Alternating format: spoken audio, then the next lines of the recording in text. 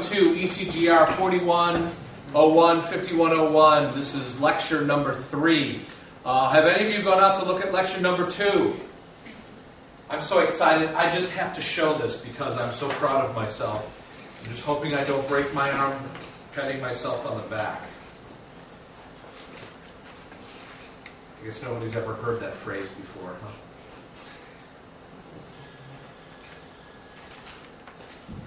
See, you're not supposed to do that.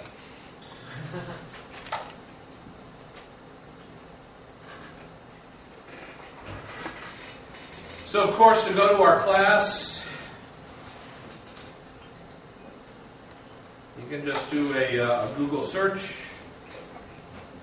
for me, classes that I teach, embedded systems, notes, and now I have actually discovered how to uh, how to actually uh, put the files on one whole thing. And let's see how this goes.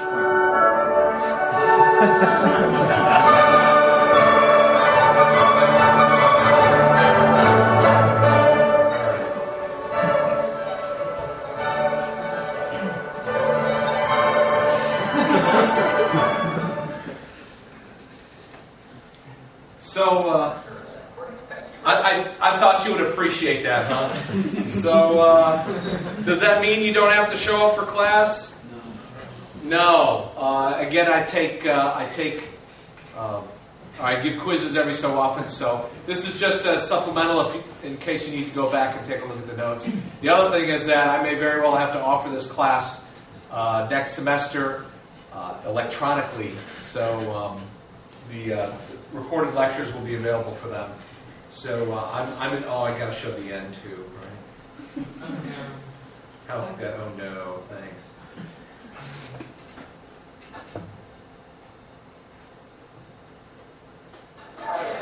All right, here here I should make a vote. Uh, this is where I take the votes that uh, if you're late for a quiz, you know, you missed the quiz. So make sure you get here on time. You gotta make sure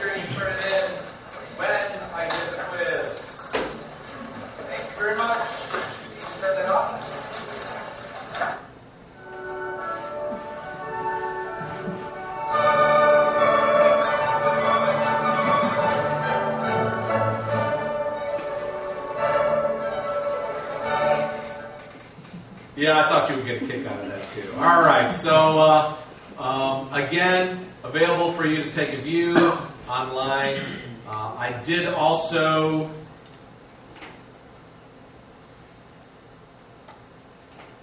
Remember, I'm putting everything on the uh, the main pages and the announcement pages when things go on. I'm not going to have to remind, or I'm not going to remind you again and again. Lab assignment one is due Monday, the 12th, so it's a little bit longer than what I originally posted. Uh, the next homework assignment is due September 7th, and I'm going to be able to finish all the materials for getting you ready for that for the uh, homework assignment. And uh, textbook chapters you can print out if you would like. Remember, this is an open book, open note test, so you're welcome to um, print out the book and bring it with you to class, to tests, to whatever. Again, one thing I asked is make sure you don't store it and post it somewhere else because we're still changing the book and I don't want anybody else to come back to me and say, well, on this page you say this. Well, that's the pre-release version, so, you know, I fixed that. So make sure you don't do that. Uh, homework assignments, as always, here. Um, assignments 1 through 12, chapter 2, you should be able to fi- finish it after this class, no problem. And then, of course, uh, lab, including the assignment and the supplemental information. I have one person regularly point out to me the errors I have, in other words, bad links and stuff. So uh, I, I who's, who sends that to me? Okay, so thank you very much. You get a free trip to the prize closet for uh, for reminding me on things wrong with the page. You think I was going to yell at you? No. No, good. So I do appreciate uh, comments saying this link is broken or uh, something's not clear here. If there's a misspelling, yeah, you can tell me that too. All right, let's go on. We are going to start up with our content. The last thing that we had talked about was the specific assignments of pins, or I should say, uh, being able to identify what pin is going to be input, what's output, direction. Remember the direction of a pin? And we also had an example of which way is going to be identified as uh, input, output, direction, and to go ahead and read it. So, I think I wanted to point something out. No, I did not.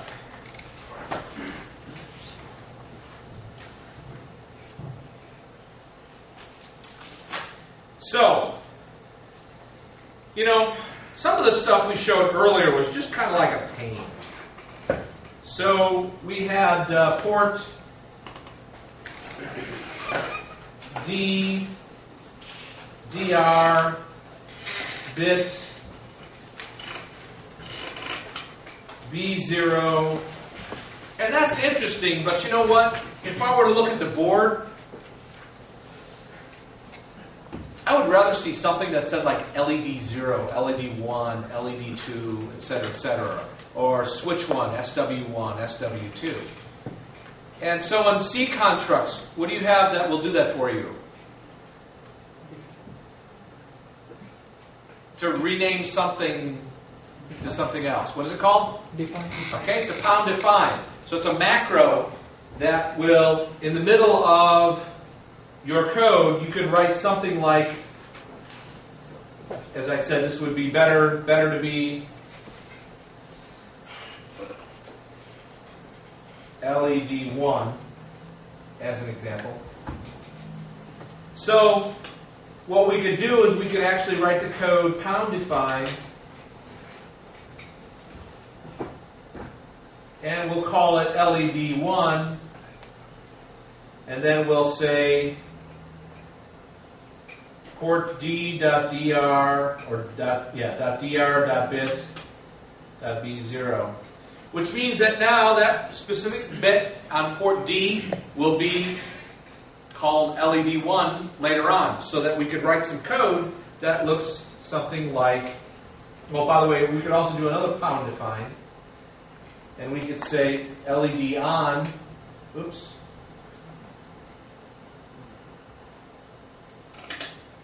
and we could say uh, LED on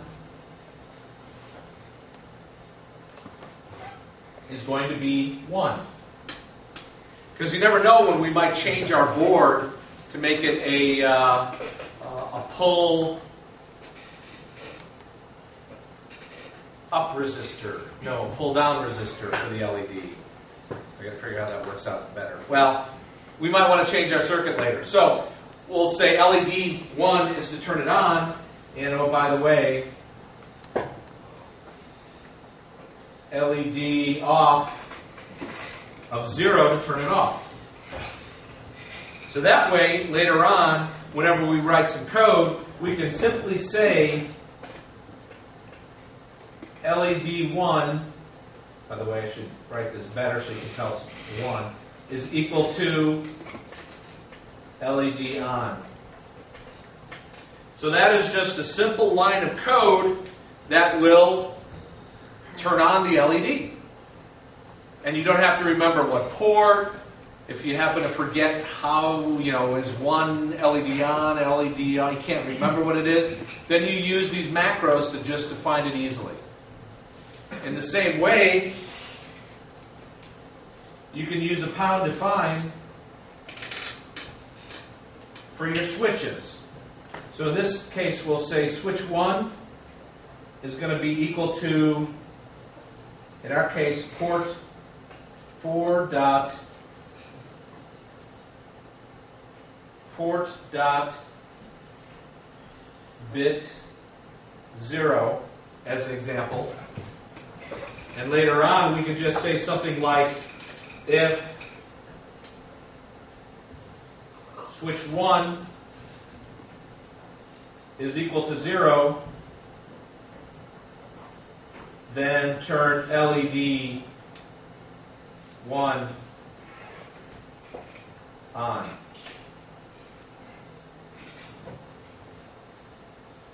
All right? So is this correct uh, C code, by the way? No. No. What's wrong? Ah, is that what you're going to say? You think I did this on purpose, right? Yeah, I did this on purpose, right? The, uh, the most common bug in C code is to use the assignment equal when you really mean to test the equality. And so, if you happen to notice, I did leave space there for the other one. Uh huh. There's a method to my madness. There really is. Look at that. It's perfect, right? You don't believe me, do you? By the way, what's another way I could have written that line?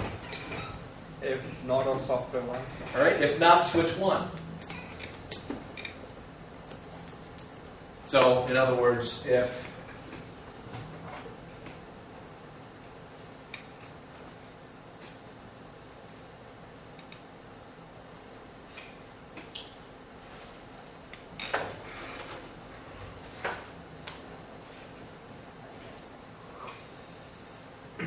that's another way of doing it. You think there's another way of doing this as well? Yeah, I think probably. So, I did say something a little bit erroneous last class, and so I want to fix that up. And that is, um, find out exactly what I said last class, and I'll have to fix this. So you'll need to look in your notes.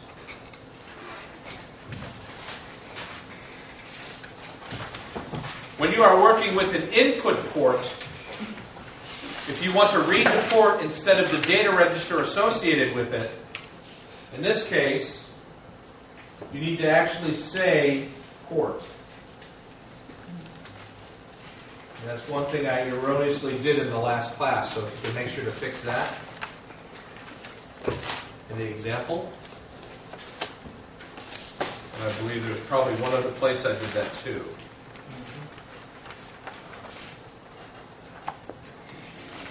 It's uh, page four. Should have done this uh, court as well.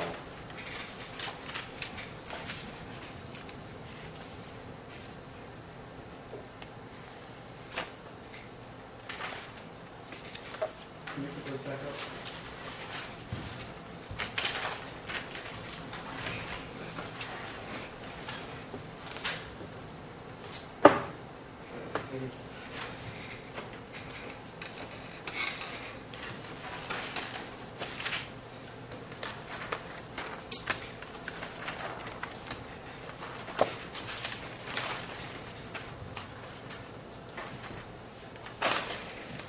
All right, I think those are the only two places I did that. So, macros is lots of fun. I think everybody should do it lots and lots of times. So, rather than having you write by hand things that are basically in the in the book chapter, specifically if we have this small file here, I just want to point out some some important aspects. First of all, you notice here it's all pound defined. We're identifying the LEDs and also, what is this for defining? DDR, data direction register. So in other words, that's to say I set it later equal to zero or one.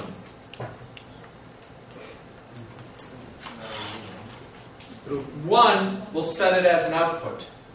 Zero will set it as an input. So we specifically have to go out and set it to a one.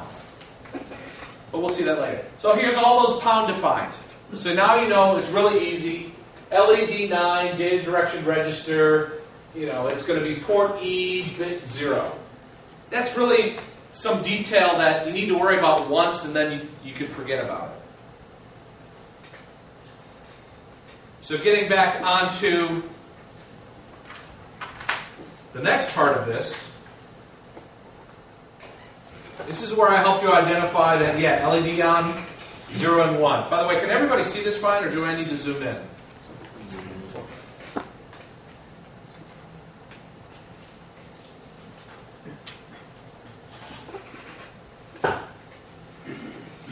And in C code, notice that what we can do. If, uh, again, with macros,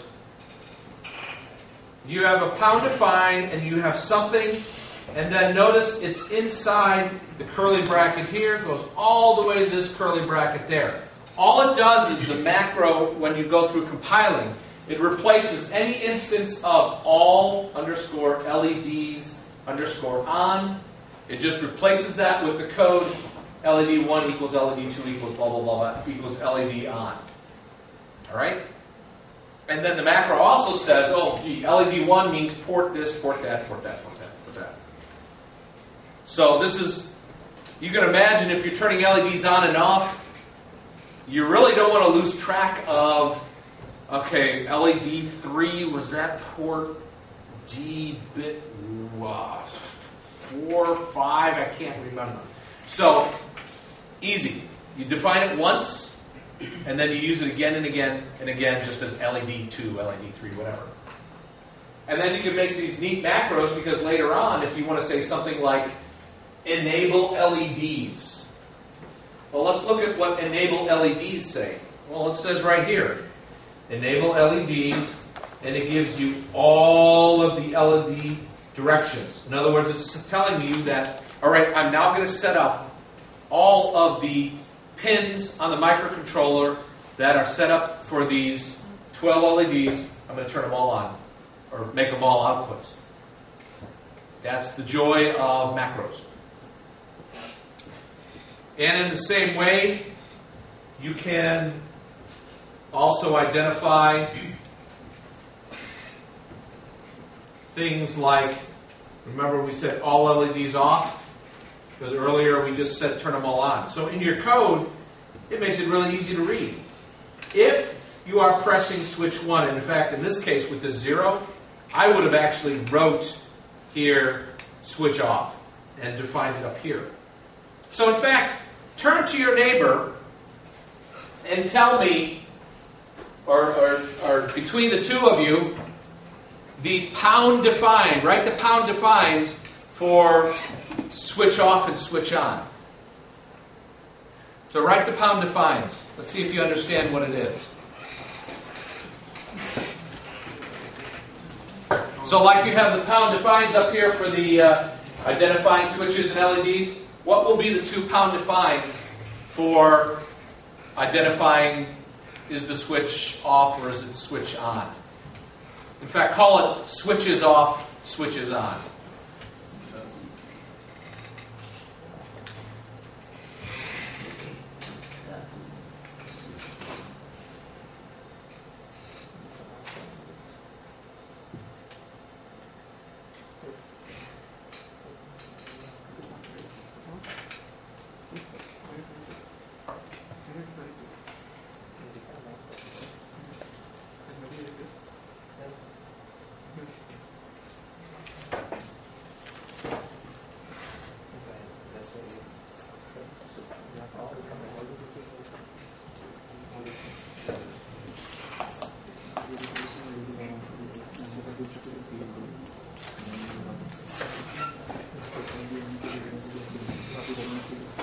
Right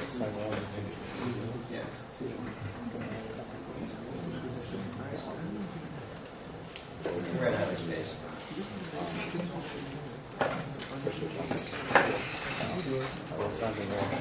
No, there are no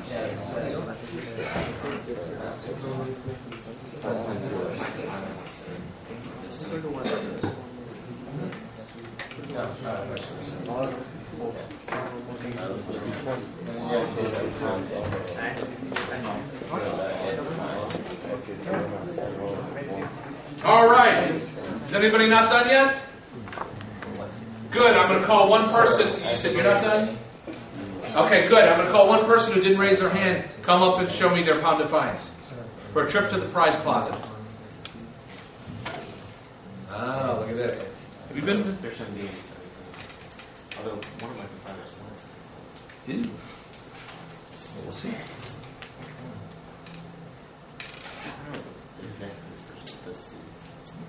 Uh, SWF. Yeah, off. I mean, Okay. Well, I'll tell you what. I'll, I'll, I'll, do mine. I'll show mine because that's correct, but I'll show that. Actually, that's not correct. Or that's not right. Let me show you. Here's what I think. You still get a trip to the prize closet because you're brave.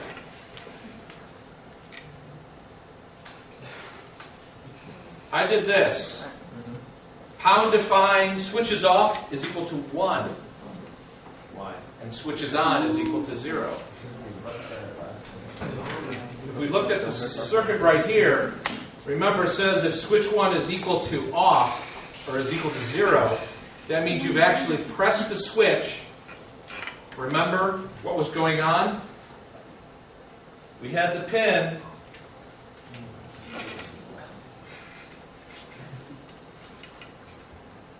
And we had the switch, which was tied to ground, and we had the pull-up resistor, which was tied to VCC. So, if it's if VCC is what's going into the microcontroller, then it's going to measure logical 1. If you press it, then the drop in voltage from here to here will go from VCC to 0 because it'll tie directly to ground. See, that confused you, or that you forgot about that, right? That's one of the advantages of doing a macro. Because now look, I'll embed switches off inside my code, and I will never mess that up again.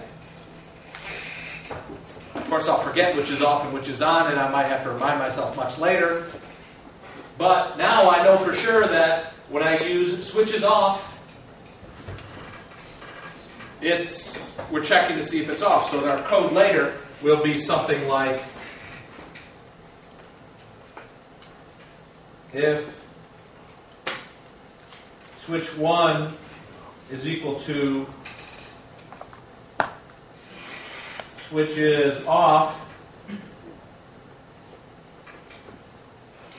then let's see, what were we? Uh, LED 1 is equal to LED on.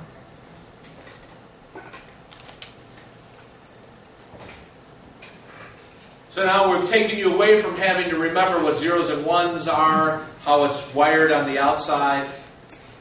And is that helpful for running the code correctly?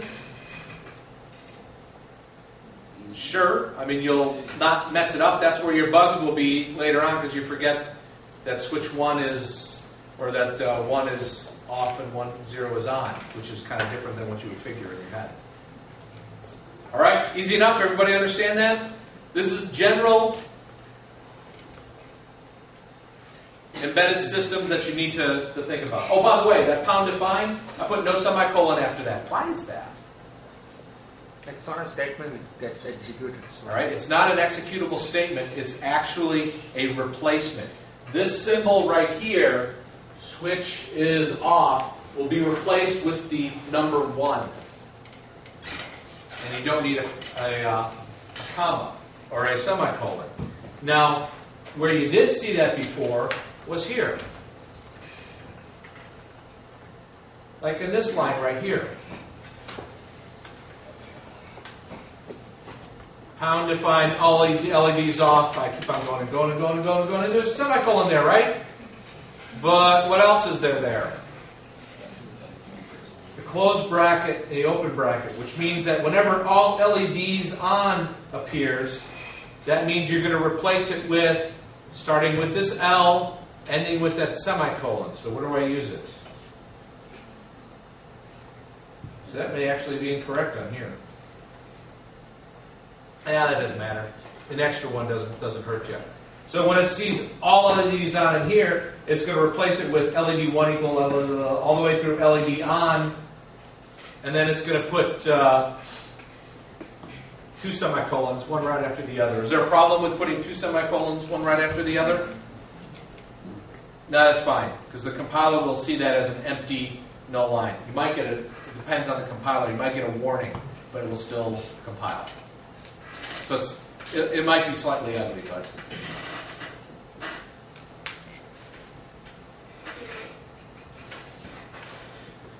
All right, I think I beat that one to death. Let's go on. There is uh, some additional information in in the book talking about loads, and so if we have, uh, ooh, wow, you can see every pore on my arm.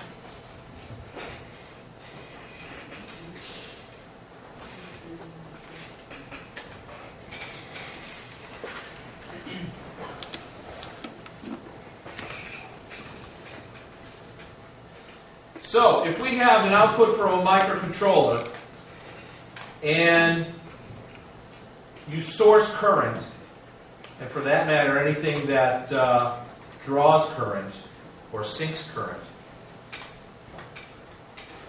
What were we talking earlier about the microcontroller? How much voltage do you have? Yeah, 0.9, 1.8, 3.0, or 3.3. Even if we're running at 3.3, do you think it's going to be able to provide a lot of current to run a motor?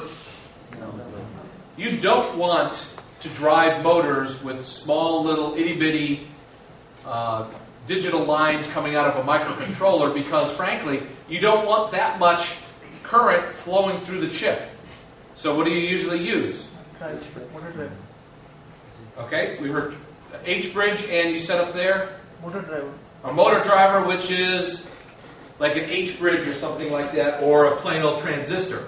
So if you have anything that you're uh, outputting, you usually will introduce something like an H bridge motor driver. And rather than draw this whole entire thing uh, the same that's in the book, I'll just start it up and uh, you can get an idea of this. And they call it an H bridge because uh, it looks like the letter H when you uh, complete it all. You know what? I'm going to have to do it just to, just to show. And this will also be uh, one of the um, lines that comes out. And this will be your motor in here. And then you have another transistor. Oh, heck, I might as well just finish it.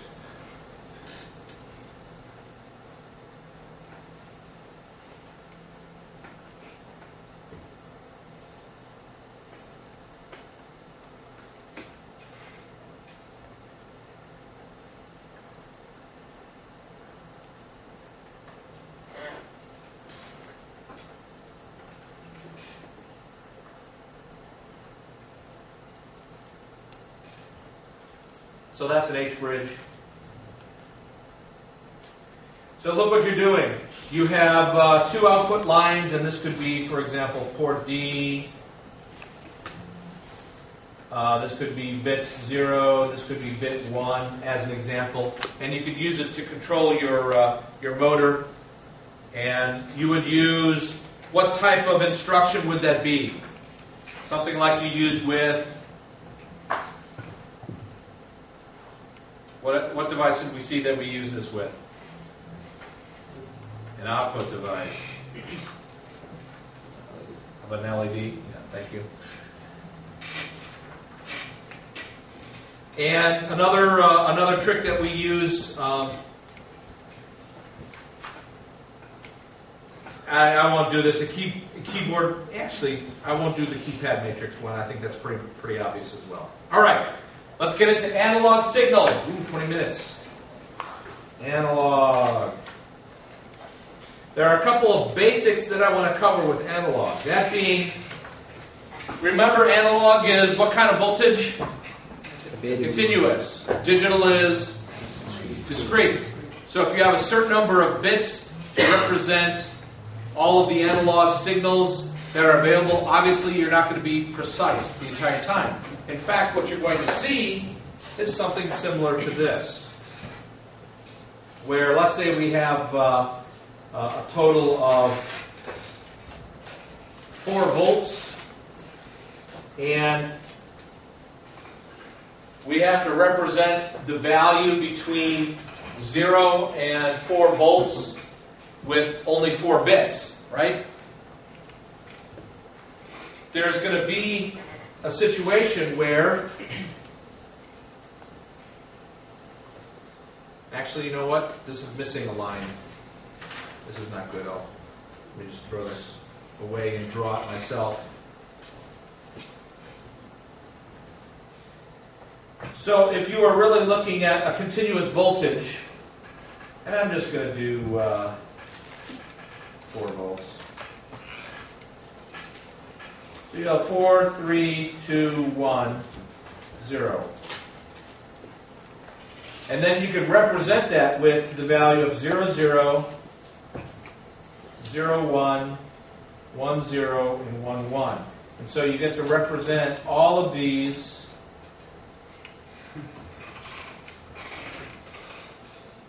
And notice it's not exact. Right? Because there's how many points here? Five. Five points.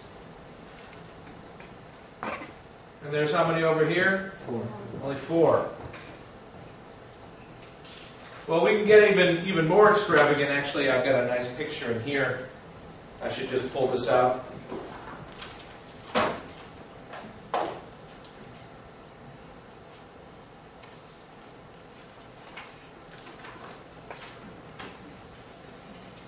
Where you can actually have it a little bit more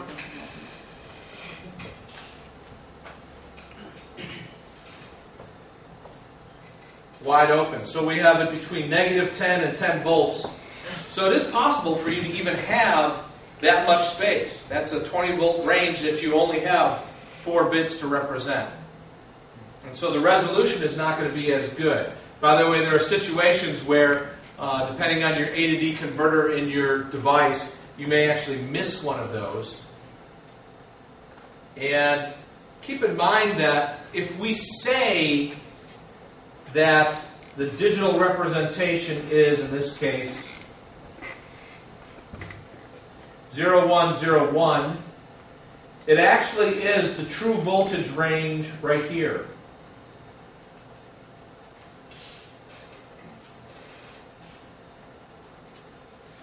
And I'm going to go into this in a lot more detail, but I just want you to understand the, the general concept that uh, when you're doing A to D conversion, analog to digital conversion, you're not going to be precise.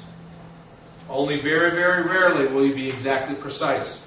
It's kind of like uh, how precise is a, uh, a clock that doesn't work anymore? Twice a day. Twice a day, right? Think about that. So, here's the main formulas that I bet you all want to find out about so that you can uh, do the homework assignment, right?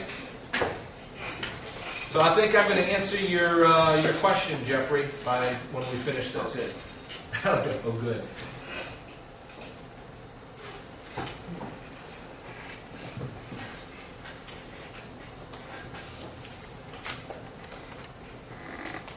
And that is our resolution of each bit is going to be whatever the V reference positive minus the V reference negative divided by 2 to the n bits, where n is defined as uh, however many bits that you have. So V ref,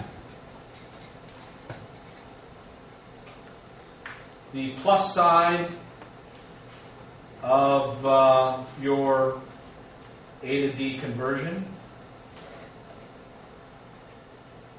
Vref minus equals the minus side of your conversion. In the homework, you haven't given any values for the red Hold on. negative. Should we assume Hold that's here? on. Usually, Vref minus is equal to zero volts.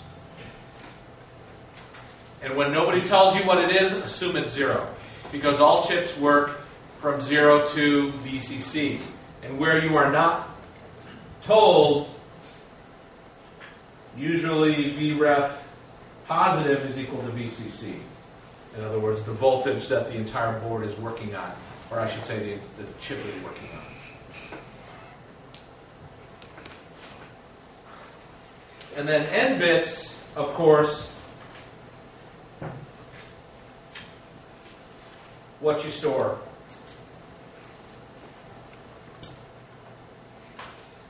So, for example, for the Renesas boards, you could have 8 bits, you could have 10 bits. I think this allows 12 bits, but I need to, I need to check that. And with more bits comes, what do you think? Worse or better resolution? Better, because you're actually splitting up the entire, the entire range into smaller and smaller pieces. So let's say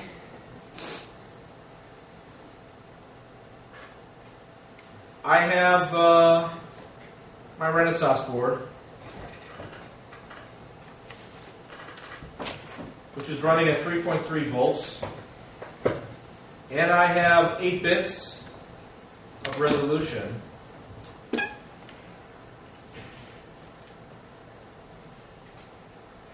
The resolution of each bit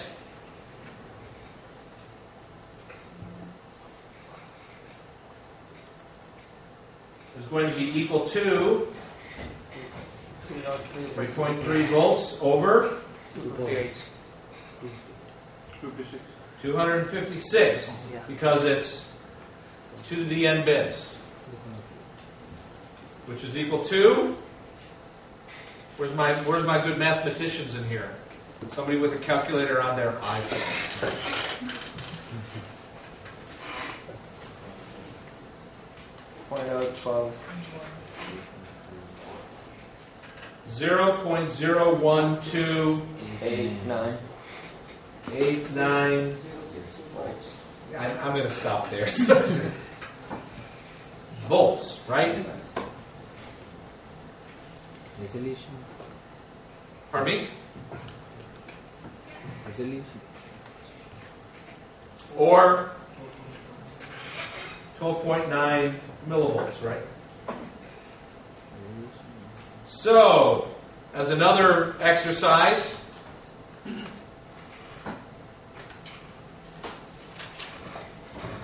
board is equal to 3.3 volts, and I have 12 bits of resolution. The resolution of each bit is, figure it out with you and your next door neighbor.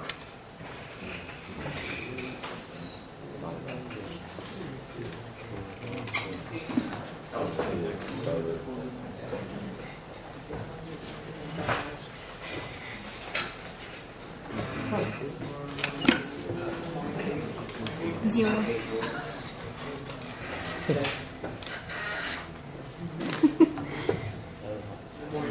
It doesn't go to the. Good. It's like two. Oh, now it's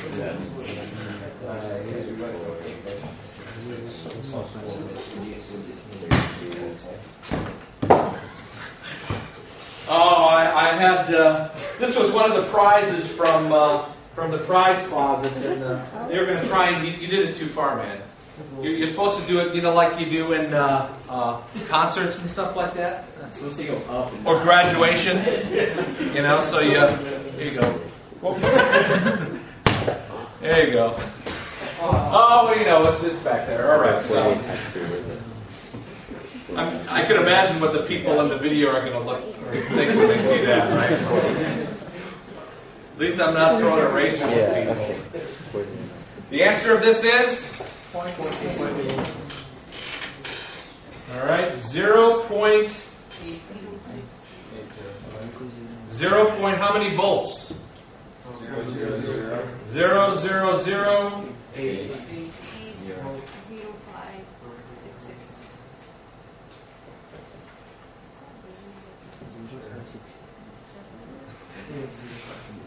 Nothing like being precise, huh? All right, everybody get that concept, right? So now you know how every step is.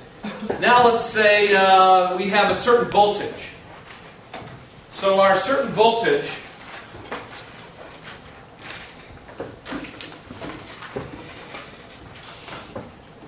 By the way, how many of you have had this already that I'm going through right now? Raise your, raise your hand now. You got to find out how many. Well, not that many, so it's new to. I know you. It's new to almost everybody, right?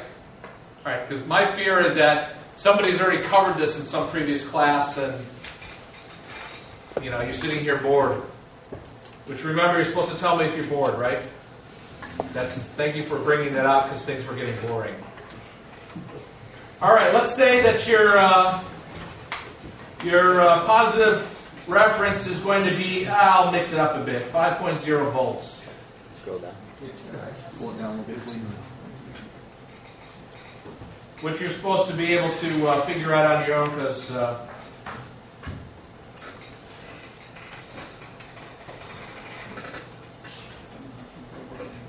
now let's say my v in is equal to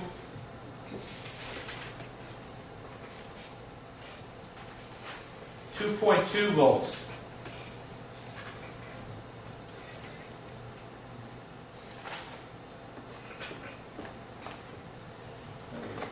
Does that mean V ref? Pardon me? Is that V reference minus or no? No, that's not V reference minus. So I didn't tell you what V reference minus is. So what does that mean you assume? All right.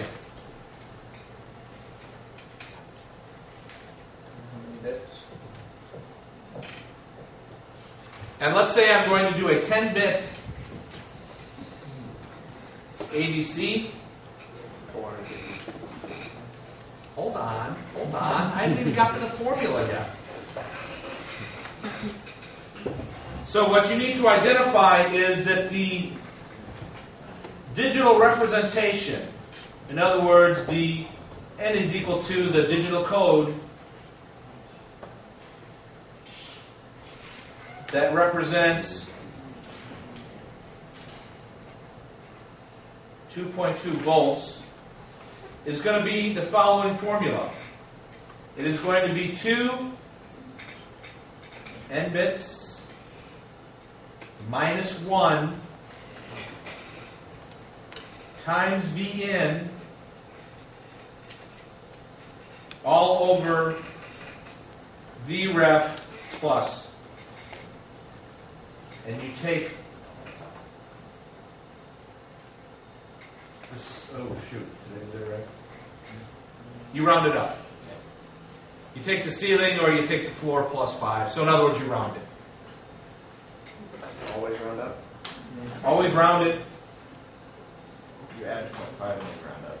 Or- Well, you take 0.5 and you take the floor. So I'm going to just say round up. So if we look at our formula here, so it's 2 to the 10 minus 1 times V in, which is oops, 2.2 volts. And we're taking it over 5.0 volts. So uh, that is equal to 1023, because that's 2 to the 10th, right? Times 2.2 divided by 5.0, and that is equal to what number? 450.12. 4, 4, 450. 450. Is it exactly 450? 0.12. Point 1? 2. Point 2. One, two. Point One, one two.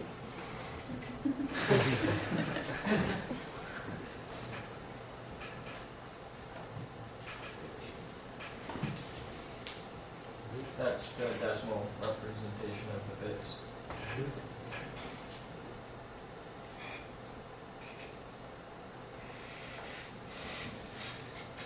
I'm going to do that, make it easy. So you add 0.5, and then you take the floor.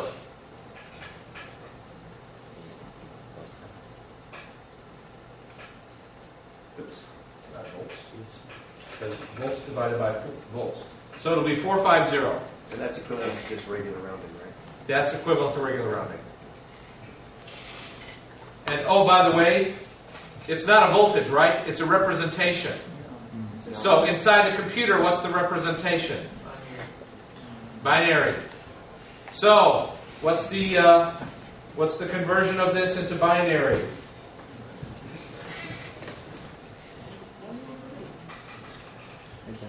Well, let's uh, take this. Uh, half of five or half of 1,024 is 512, and it's not that.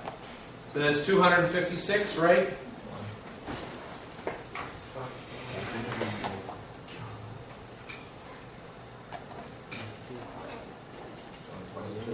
Minus 128. Uh, Catch me if I do my math wrong. well, we can't see. You're just looking to see if I screw up, I know. Uh, 6 minus 64. So, uh, not 32, not 16, not 8, not 4, 2, 0. Did I get the right number of bits? Yep. Yay, I got it. All right. So that would be the representation in there, which, by the way, would be, uh, oops, it's not zero x. It's binary, which is going to be zero hex, one, C, two.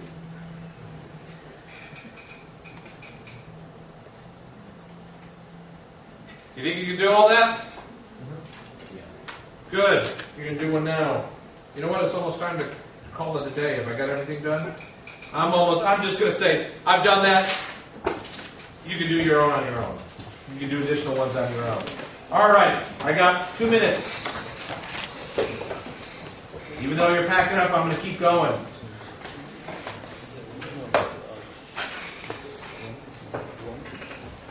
Yeah. Am I on four already? Five already.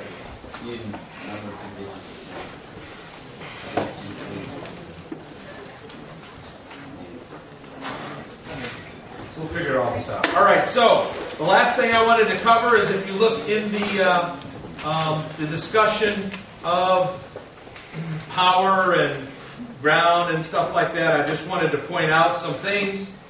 You have battery life is going to be equal to the capacity minus the current. So if you have something that is, uh, for example, 200 milliamp hours, that's like a small AA battery. And you have a device that's going to draw 10 milliamps at any one time. How long will it last? 20 hours. 20 hours. Now you have to keep in mind that if you have two batteries, and each of these are 1.5 volts, and you put them together like this, what is your output or what is your voltage between these two points? It's either 3 volts or it's 1.5. Which is it? So it is 1.5 volts. All right? Assuming that this is plus and minus, right?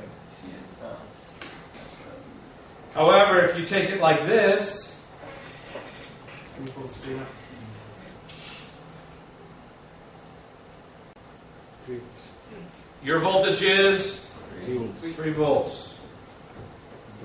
So if this battery stores 200 milliamp hours,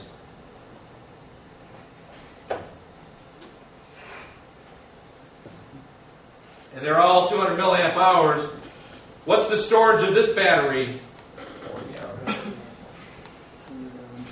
The storage capacity of this is going to be 400 milliamp hours. What's the storage capacity of this? 200. It's 200 milliamp hours. Because you're either combining the voltage, if it's in series, or you're combining the capacity if it's in parallel. Make sure you understand that. Yeah. I almost guarantee you that's going to show up in a future homework assignment. And uh, you can read about uh, clocks separately. I believe that's all for today. Thank you very much.